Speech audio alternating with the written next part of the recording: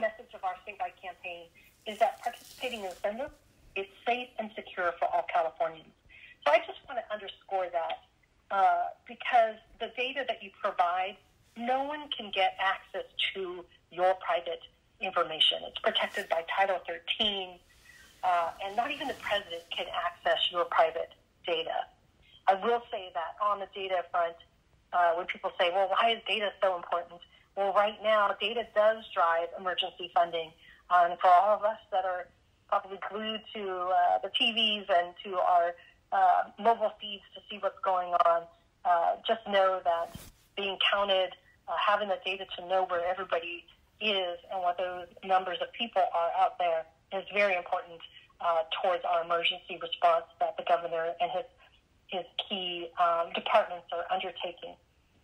So I just want to underscore um, that the Census Bureau um, does use the information to make sure that every state and community gets its fair share of resources, but the, again, they're not going to share it. Uh, the Census Bureau um, is has delayed some of their operations due to the COVID-19 uh, pandemic.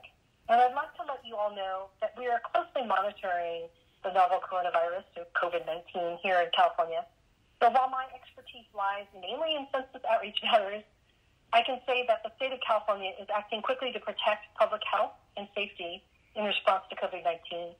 And the California Department of Public Health is continually updating its website. So that's a really great place to go to um, to find out about the stay-at-home orders, um, and we've also set up our own website to update our partners and the public, which is available at census.ca.gov slash COVID-19.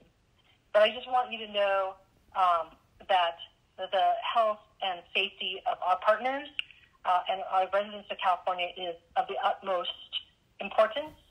And that's why I think it's important to get the word out that you can respond to the census from the safety of your home, online or over the phone or uh, in the weeks to come via mail. And we really encourage folks to do that because we don't want anybody coming to knock on your doors. Um, but in light of the situation, um, I think that every Californian can respond to the census without having to put anyone in danger.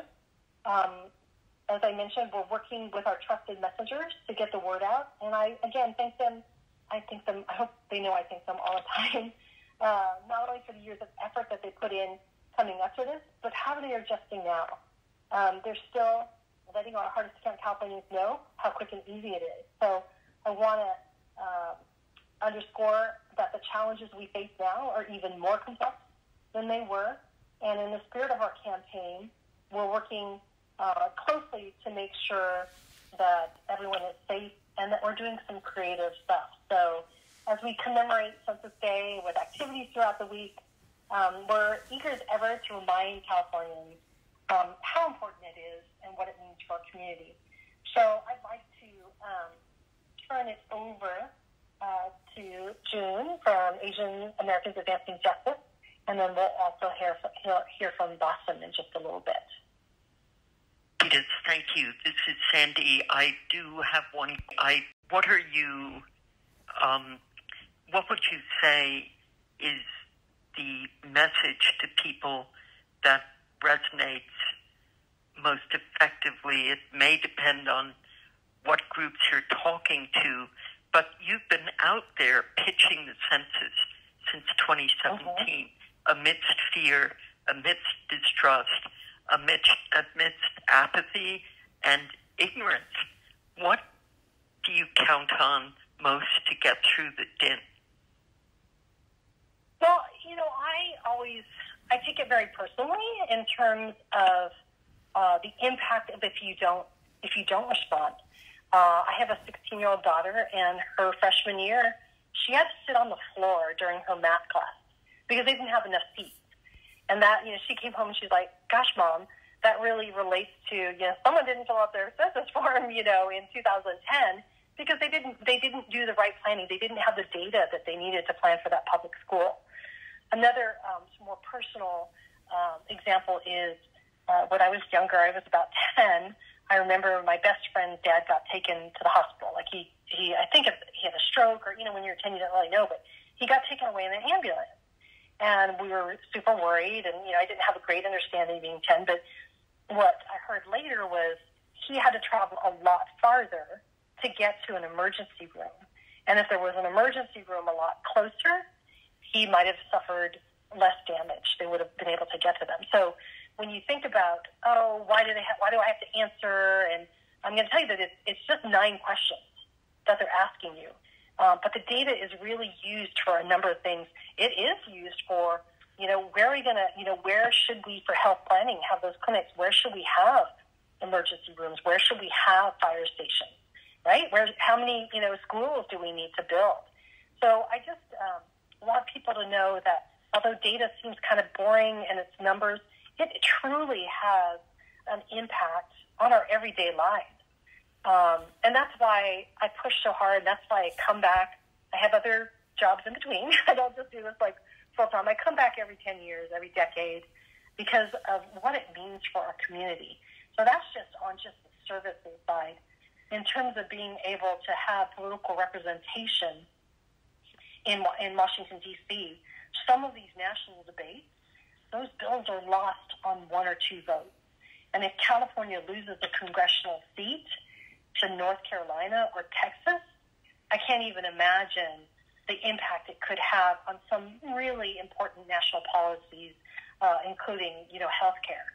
So, um, you know, I want people to understand that, you know, sharing this personal data, which is like your name, your age, your gender, uh, whether you rent or own the home, um, and your race and ethnicity and your race.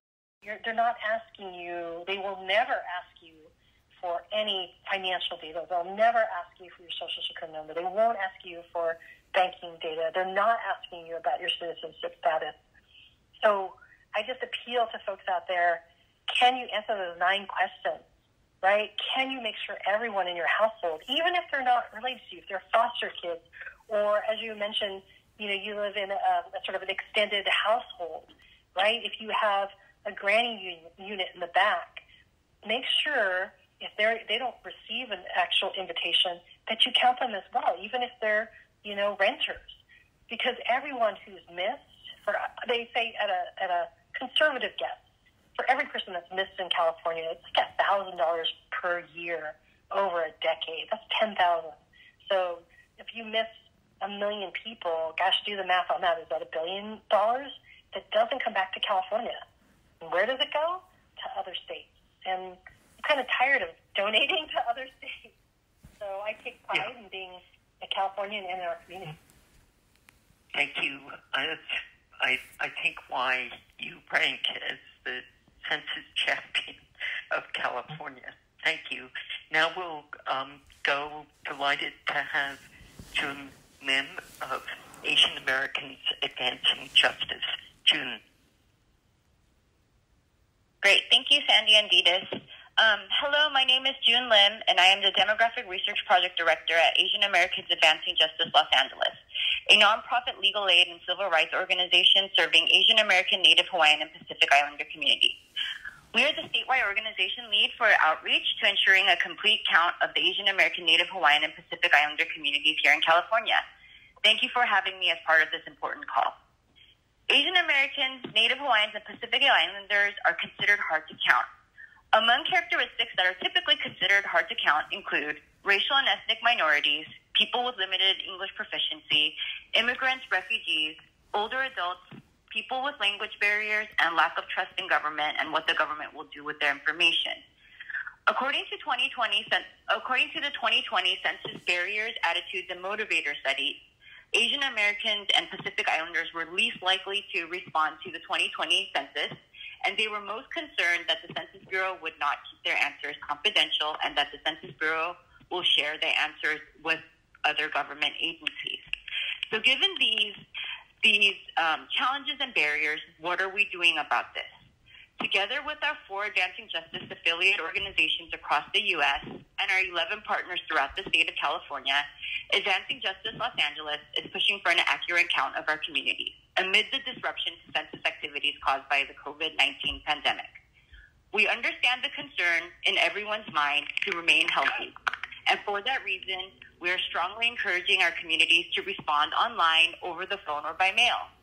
Among other languages, our community members are able to complete the census online or by phone in Chinese, Japanese, Korean, Tagalog, and Vietnamese.